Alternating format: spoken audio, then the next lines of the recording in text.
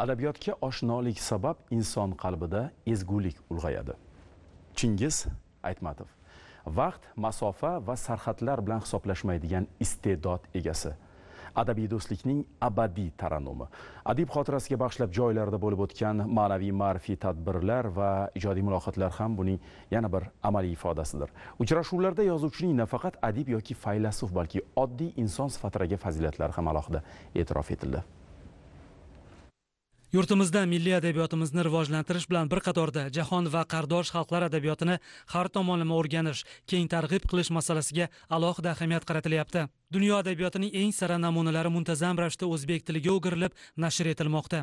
Poytaxtimizda buyuk ozarbayjon shoiri nizomiy ganjaviy mashhur gruzin shoiri shota rustaveli ulug' rus shoiri aleksandr pushkin qozoq shoiri va mutafakkiri abay qunonboyev atoqli turkman shoiri maxtum quli taniqli belarus shoiri yakub kolos sharafiga byust barelyef va haykallar o'rnatilgan. Bugun erta tongdan azim toshkentdagi chingiz aytmatov barelyefi o'rnatilgan maskan guldastalarga burkandi. Adibni yodga olib adabiyotshunoslar shoir yozuvchilar talaba yoshlar jam bo'lishdi. Aslida yozuvchi bo'lib tug'ilmaydilar aksincha iste'dod va mehnat insonni ana shu ulug' darajaga ko'taradi.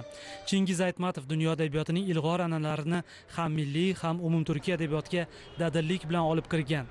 Bu an'analarning nafaqat qirg'iz balki butun turkiy adabiyotda sintezlashishiga ulkan hissa qo'shgan adib. Shu ma'noda chingiz aytmatov o'zbek xalqi uchun ham aziz va qadrli siymo.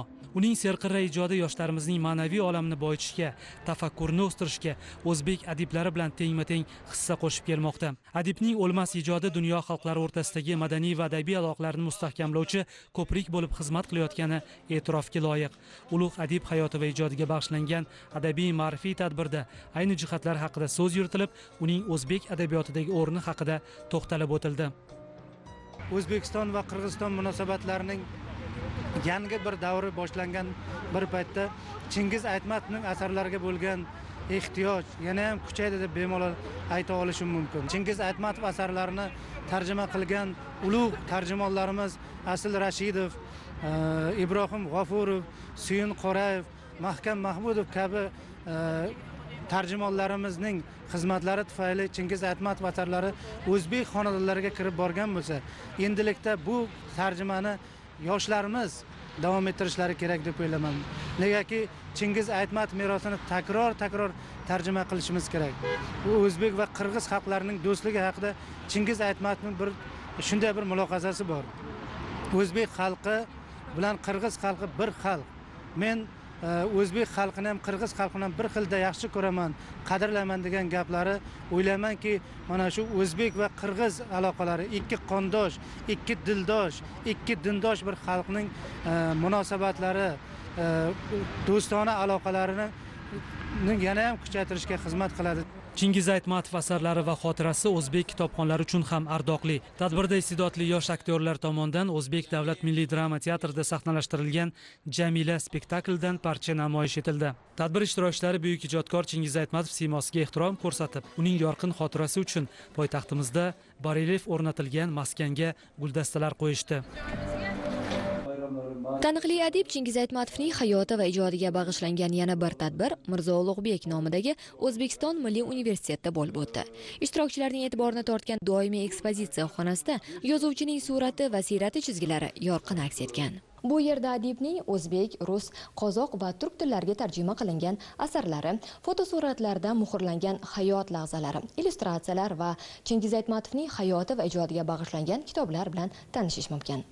Doimiy ekspozitsiyaning milliy universitetda tashkil etilgani ham bejiz emas albatta. Chunki chingiz aytmatovning qator shogirdlari o'sha vaqtda o'rta osiyoda yagona bo'lgan aynan ushbu oliy ta'lim dargohida bilim olgan. Bugungi tadbir ma'ruzachilaridan biri jurnalist va publitsist ahmadjon meliboyev ham 1974 yilda chingiz aytmatovning ijodi bo'yicha diplom ishini yo'qlagan. Hozir o'zbekistonda e, aytmatovshunoslik maktabi paydo bo'lyapti. Juda ko'p olimlarimiz chingiz aytmatovning ijodi bilan shug'ullanyaptilar uni asarlarini masalan qirg'izcha o'zbekcha ruscha qoraqalpoqcha nashrlarni bir biriga solishtirib naqadar bizni tilimizni boyligini masalan e, ko'rsatish harakatlari bo'lgan. Maqsadimiz mana shu ulug' ijodkorlar hayoti misolida xalqlarimizni turkiy dunyo xalqlarini bir biriga yaqinlashtirish do'stligini mustahkamlashdan iborat. Chingiz aytmatovning asarlari jahonning 175 ta tiliga tarjima qilingan. Birgina mashhur jamila qissasining o'zi germaniyada 50 martadan ko'p nashr etilgani nafaqat adabiyot ixlosmandlarini balki barchani hayratga soladi. Har yili oliy ta'lim muassasasida 20 ga yaqin ilmiy ishlar aynan aytmatovning hayoti va ijodiga bag'ishlanadi. Badiiy asar bilan to'g'ri odam qaysidir ma'noda e, ma'naviy hordiq oladi lekin chingiz aytmatov asarlari orqali e, qandaydir ogohlikka da'vatni kuzatasiz ma'naviy barkamollikka yetaklaydi umuman turkiy xalqlar adabiyotida ham butun jahon adabiyotida ham asarlari bilan o'z aytar so'ziga ega yozuvchi hisoblanadi. Umuman aytmatov o'z asarlarida umum insoniy qadriyat va an'analarni targ'ib etibgina qolmay ularni mangu yashashini tarafdori bo'lgan. Veterinar elchi deputat ko'plab mashhur kinofilmlarning ssenariy muallifi bo'lgan adib hamma hikoyalarni qoralamalarsiz qo'lda yozgan. Shu tariqa uning yuragidan to'kilgan satrlari hamon o'z o'quvchilarining yuragigacha yetib bormoqda. Toshkent viloyati parkent tumanidagi qirg'izovul mahallasida joylashgan 33 umumiy o'rta ta'lim maktabida ham chingiz aytmatovning hayoti va ijodiga bag'ishlangan adabiy ma'rifiy tadbir bo'lib o'tdi. Unda so'zga chiqqanlar buyuk qirg'iz adibining boy adabiy merosi insoniyatning ezgu falsafasini o'zida aks ettirgan xalqchil asarlari haqida fikr bildirishdi. Aytilgandek zamonaviy turkiy adabiyotining eng buyuk yozuvchilaridan biri bo'lmish chingiz aytmatov asosan qirg'iz tilida ijod qilgan bo'lsa-da o'zbek xalqi ham uning asarlarini sevib o'qiydi. Buning sababi esa ikki mamlakat o'rtasidagi azaliy do'stlik qardoshlik ruhiy yaqinlik yakdillik bilan bog'liq. Tadbir davomida maktab o'quvchilari adibning sahnalashtirilgan asarlaridan parchalar ijro etishdi. Kuy qo'shiq raqslarga boy bo'lgan tadbir shodiyonaga aylanib ketdi. Har bir xalqni qalbini ruhiyatini borlig'ini butun latofati bilan biz uni adabiyoti orqali anglaymizda ana shu o'rinda chingiz aytmatov o'ziga xos bir adabiyotda bir maktab yaratdiki uni yaratgan asarlari garchi bugun u olamdan o'tgan bo'lsa-da har bir satri tirik har bir g'oyasi tirik har bir ezgu da'vati tirik va u yashashda davom etyapti. Chingiz aytmatov nafaqat bir qirg'iz elini balki o'zbekistonni ham o'zini bir farzandidek edi. O'zbekistonni chinakam ma'nodagi do'sti edi. Manimcha dunyoda chingiz aytmatovni asarlari tarjima qilinmagan birorta bir til qolgan yo'q birorta bir xalq qolgani yo'q. Qardosh xalqlar adabiyotiga bir hurmat ko'rsatish orqali ularni asarlarini o'qish orqali biz o'rtada boshqa xalqlar bilan deylik jumladan o'zbek va qirg'iz xalqi o'rtasidagi ko'priklarni deylik mustahkamlaymiz.